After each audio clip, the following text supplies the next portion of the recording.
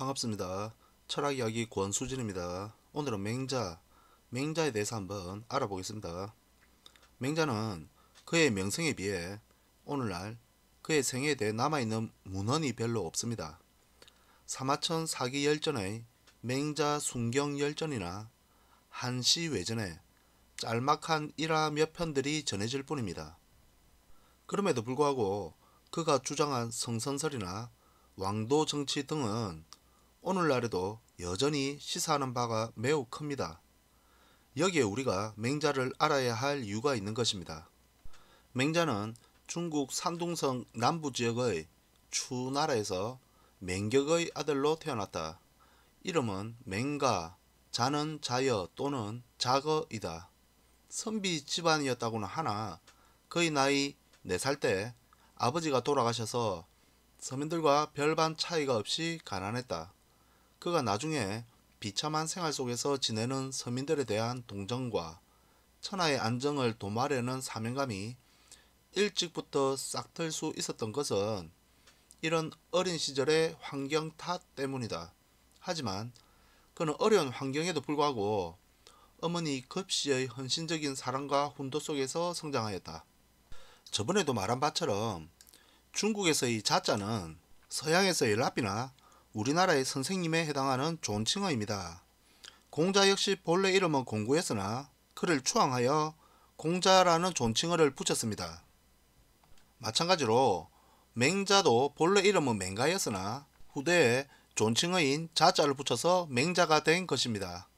맹자가 태어난 추나라는 공자가 태어난 노나라와 아주 가까운 곳에 위치해 있습니다. 해서 맹자의 학문적 배경에는 공자의 영향력이 미칠 수밖에 없었을 것입니다. 공교롭게도 공자와 맹자의 삶은 유사한 점이 매우 많습니다. 어릴 적에 아버지를 여의고 편모설화 속에서 자란 것이나 먼 훗날 맹자도 주유천하를 하게 됩니다. 맹자가 위대한 사상가로 거듭나게 된 배경에는 또 한 사람의 영향력이 매우 컸습니다. 그가 바로 어머니 급시입니다. 앞으로 살펴보겠지만 맹모 삼천지교나 맹모 당기지교와 같은 일화들은 모두 어머니의 영향력과 관련된 일화들입니다. 맹자가 어렸을 때 그의 집은 공동묘지 근처에 있었는데 거기서 흔히 볼 수 있는 것은 장사 지내는 일이었기에 맹자는 동네 친구들과 어울려 장사 지내는 흉내를 내며 놀곤 하였다. 이런 모습에 놀란 어머니는 이곳이 아이들을 기를 곳이 못 된다고 판단하여 시장 근처로 이사하였다. 그러자 이번에는 물건을 사고 파는 흉내를 내면서 놀았다. 맹자 어머니는 다시 글방 근처로 이사를 하였다. 여기서 맹자는 공부하는 흉내를 내면서 놀았고 그제서야 맹자 어머니는 비로소 마음을 놓았다고 한다. 흔히 맹모 삼천지교로 유명한 이 이야기는 오늘날까지 유명한 일화로 전해지고 있다. 아마 맹자와 관련해서 우리에게 가장 잘 알려진 것은 맹모 삼천지교일 것입니다. 앞에 그림을 보면 아이의 손, 아이와 손잡, 손을 잡고 있는 이 여인의 모습이 맹자의 어머니인 급시이고 어린아이가 맹자의 어릴 적 모습인 것 같습니다. 맹자는 스승의 권유에 따라 노나라 곡부로 가서 공자의 손자인 자사에게서 유괴를 배웠다. 그는 항상 공자를 공경하여 공자와 같은 성인이 되는 것을 목표로 삼았다. 그런데 얼마 후 말을 타다가 떨어져 팔을 다쳤을 때 어머니가 그리워 공부를 중단, 중단하고 고향집으로 갔다. 그때 비단을 짜고 있던 어머니가 아들에게 배울 것을 다 배웠냐고 묻자 이에 맹자는 평생을 두고 배워야 할 것을 어찌 그동안 배웠겠습니까? 하고 대답하였다. 이 말을 들은 어머니는 짜고 있던 배를 칼로 끊으며 말하기를 내가 공부를 하다가 중단하는 것은 마치 내가 여태껏 짜던 이 배를 끊는 것과 같다라고 하였다. 이에 크게 깨달은 맹자는 바로 돌아가서 경서를 모두 통달한 후에야 고향을 다시 찾았다고 한다. 이것이 맹모당기지교이다. 흔한 오해로 맹자를 공자의 제자로 알고 계신 분들이 있는데 엄밀하게 말하면 맹자는 공자의 제자가 아닙니다. 시기적으로 봐도 맹자는 전국시대 사람이고 공자는 춘추시, 춘추시대 사람입니다. 시기를 봐도 알 수 있듯이 공자와 맹자는 서로 다른 시대를 산 사람들이기 때문에 그 둘이 만날 수도 만날 이유도 없었던 것입니다. 맹자의 서성은 공자의 손자인 자사라는 인물이었습니다. 자사는 공자가 주유천하를 마치고 돌아와서 여러 후학들을 양성할 때 자로, 자공, 아내와 같은 여러 제자들 중에 한 사람이었습니다. 자사는 먼 훗날 주의가 성리학을 집대성하기 위해서 대학, 논어, 맹자, 중용 등을 편찬했을 때 이 중용책을 저술한 인물이기도 합니다. 여하튼 맹자는 스승인 자사 밑에서 유계를 배웠습니다. 유계는 시, 서, 예, 악, 어, 수를 말하며 이는 저번 시간에 배운 바가 있습니다. 시는 시를 짓는 것을 말하고 서는 글쓰기를 말하며 예는 예절 교육을 말하고 악은 음악 교육을 말하고 어는 말타기 교육을 말하고 수는 수학 교육을 말합니다. 저는 맹모 단기지교 일화를 들었을 때 조선시대에 한석봉이 생각났습니다. 글 공부에 실정이 난 석봉이 한밤중에 어머니를 찾아왔을 때 어머니는 촛불을 끄고 너는 글을 쓰라 나는 떡을 썰 테이니 이후 다시 촛불을 켜니 어머니가 썰어 놓은 떡은 가지런한 데 비해 한석봉의 글씨체는 엉망인 것으로 깨달은 바가 컸던 석봉이 다시 글 공부에 매진했다는 이 일화는 아마 맹모 단기지교의 일화를 어, 각색한 것이 아닌가 하는 생각을 해봅니다. 한영의 한시 외전에 의하면 맹자가 신혼 시절 안방으로 들어가려고 방문을 여니 아내가 두 다리를 쭉 뻗고 앉아 어깨를 드러내놓고 있었다. 이를 불쾌하게 여긴 맹자는 다시 그 방 안에 들어가지 않았다. 맹자의 아내는 시어머니에게 친정으로 돌아가겠다고 말했다. 어머님, 저는 부부의 돈은 안방에서는 걸리는 것이 없다고 들었습니다. 저는 아무도 없는 안방에서 어깨를 드러내고 있었는데 서방님은 그러한 저를 보고 얼굴빛이 변하면서 불쾌하게 여겼습니다. 이런 서방님의 행동은 저를 아내로 여기는 것이 아니라 남으로 여기는 것입니다. 여자는 남의 방에 묵지 않는다고 배웠습니다. 그러니 친정으로 돌아가려 합니다. 허락해 주십시오. 맹자가 어머니에게 아내가 무례하여 내쫓아야겠다고 말하자 맹모는 그 모습을 어떻게 보게 되었냐고 물었고 맹자의 대답을 듣고 나서 말했다. 그것은 내가 무례한 것이지 내 아내가 무례한 것은 아니다. 오래 말하지 않았더냐. 대문에 들어갈 때는 누가 있느냐고 묻는 법이고 대청 위에 올라갈 때는 반드시 기침 소리를 내는 법이며 또 방 안에 들어갈 때는 반드시 앞만 보고 남의 좋지 않은 점은 보지 말라고 그런데 내가 갑자기 방에 들어가면서 기척을 내지 않았기 때문에 내 아내가 다리를 뻗고 앉은 모습을 보게 된 것이니 이것은 내가 무례한 것이지 어찌 내 아내가 무례하단 말이냐 또한 내가 무례한 것은 너에게 예법을 잘 가르치지 못한 내가 내게 죄가 있으므로 그 벌은 내가 받아야 한다고 훈계했다. 맹자는 어머니에게 잘못을 시인하고 아내에게 잘못을 사과했다. 공자에서 보았던 것처럼 맹자의 삶에 있어서도 아내에 대한 언급이 거의 없습니다. 그리고 아내와의 관계도 그렇게 좋았던 것 같지가 않습니다. 제가 생각해봐도 육아적 소양을 갖춘 사람들이 여자들의 입장에서는 그리 인기 있을 것 같지 않습니다. 고지식한 데다가 경제력이 있는 것 같지도 않고 그런데 행동 하나하나에는 일일이 간섭하는 그런 스타일의 남자를 좋아하는 여자는 아마 드물 것입니다. 반대로 생각하면 이러한 가치관으로 평생을 살아가는 육아 사람들의 입장에서도 이러한 여자들의 행동이나 생각들이 마음에 들지 않았을 것입니다. 맹자가 살았던 전국 초기는 대단히 험난한 시기였다. 공자가 활동했던 춘추시대보다 혼란이 더 심했다. 봉건 체제 내의 하극상이 매우 잦아졌고 민중에 대한 수탈이 극에 달했다.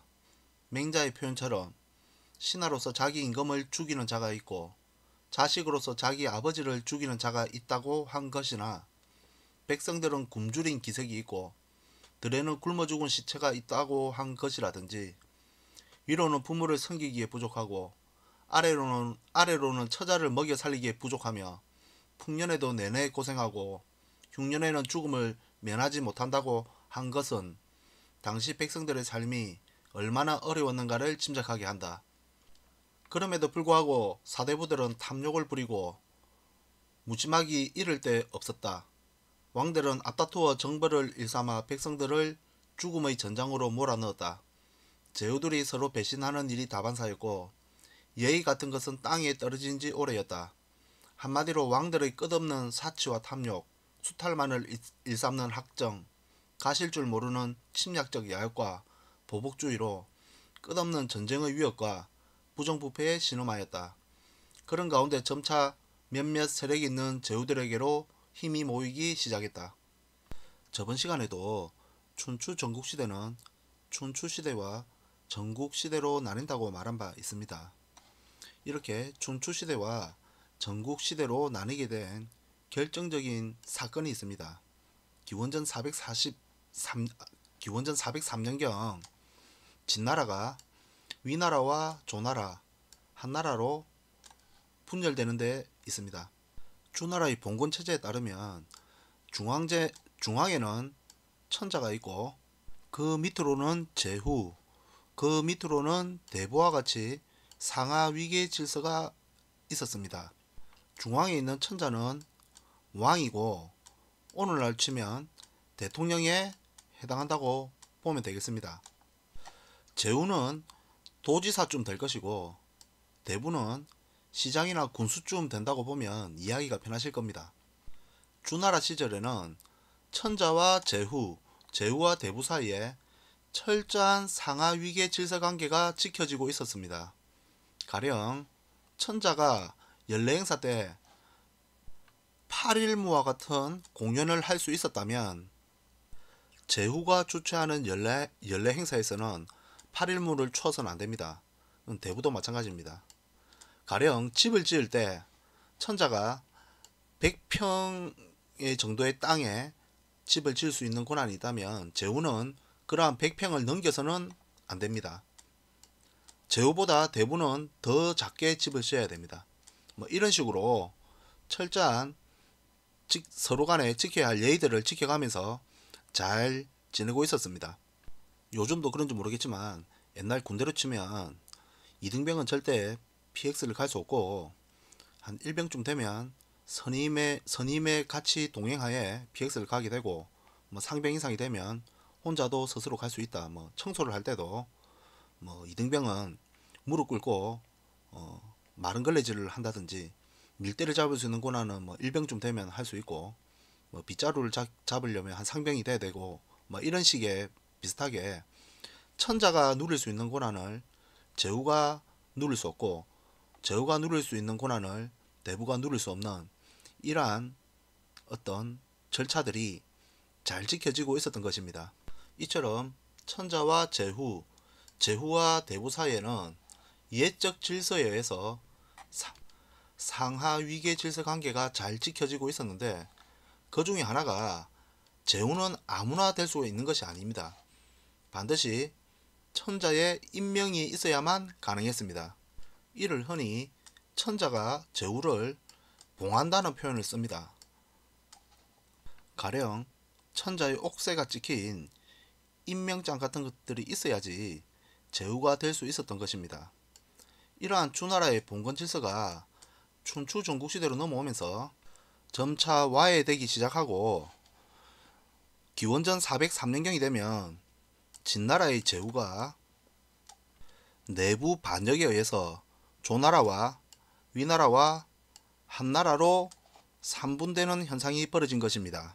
즉 대부가 제나, 제후의 반란을 일으켜 성공을 하게 되고 진나라 제후는 천자에게 가서 이 사실을 고하게 됩니다.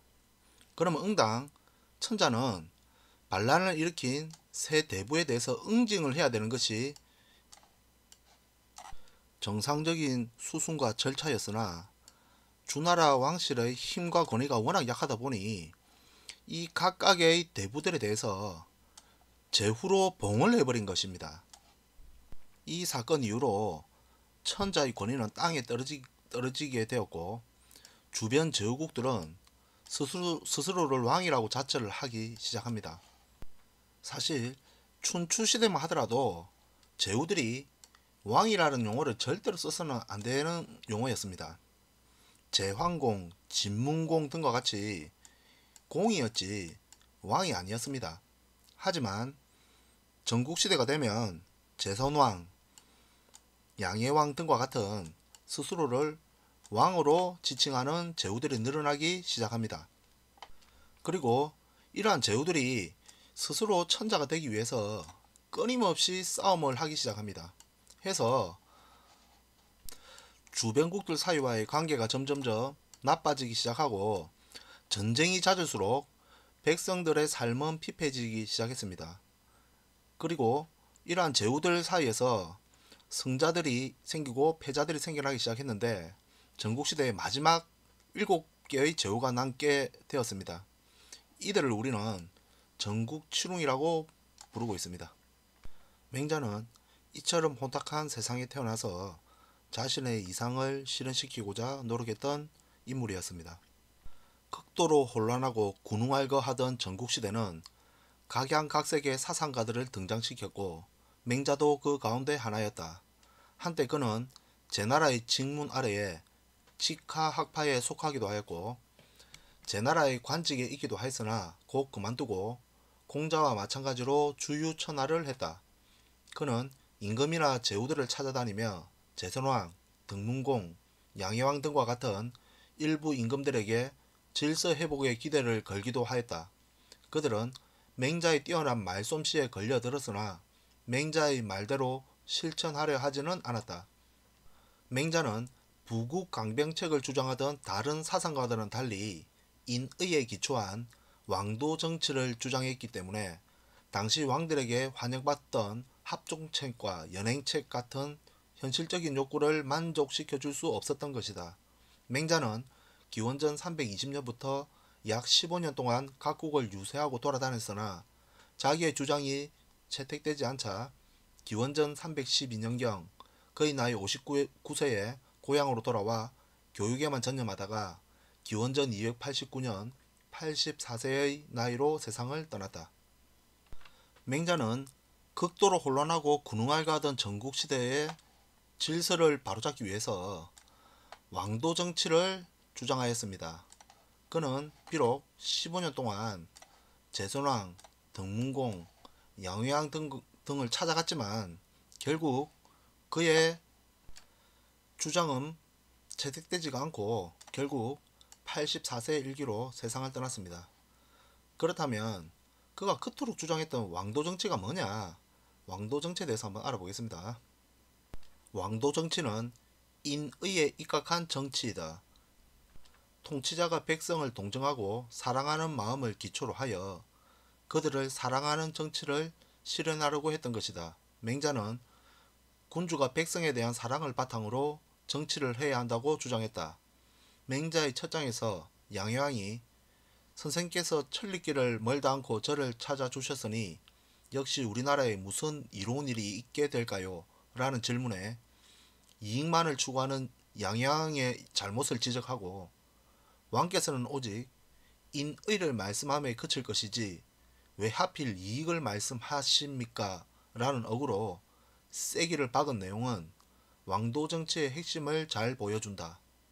맹자는 백성이 가장 귀하고 국가가 그 다음이며 군주는 가벼운, 가벼운 존재로 보고 군주가 군주답지 못하면 군주도 바꿔야 한다는 민본주의적 혁명 사상을 주장하였다. 맹자 당시의 군주들은 부국 강병 체계만 진력하여 패도로서 백성을 다스렸다. 이에 대하여 맹자는 왕도로서 백성을 다스릴 것을 주장하였다. 패도 정치가 무력과 강압에 의존한다, 의존하여 다스린다면 왕도 정치는 덕으로 다스리는 적치, 덕치인 것이다. 무력으로 인을 가장한 것을 패도로 하고 도덕으로 인을 실행하는 것을 왕도로 한다. 힘으로 사람을 복종시키는 것은 마음으로 복종시키는 것이 아니며 힘이 부족하니까 복종하게 된다. 그러나 덕으로 사람을 복종시키는 것은 사람이 진심으로 기뻐서 복종하는 것이다. 예컨대 70여 제자들이 공자에게 복종하는 것과 같다. 이상으로 맹자의 생에 대해서 마치겠습니다. 감사합니다.